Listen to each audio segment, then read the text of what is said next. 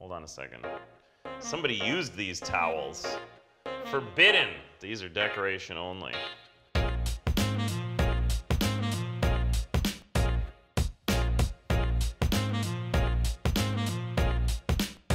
Now you can not only heat your bathroom floors, but your shower floors as well, as long as it complies with your local building code requirements. Now you may know that I work with Ditra Heat, which is part of a Schluter system.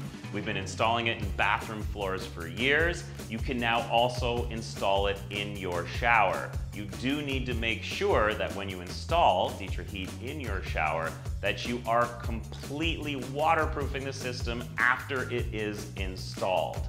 No matter which system you use, try to get all the products from the same manufacturer. That way you know they're all compatible and you don't void the warranty.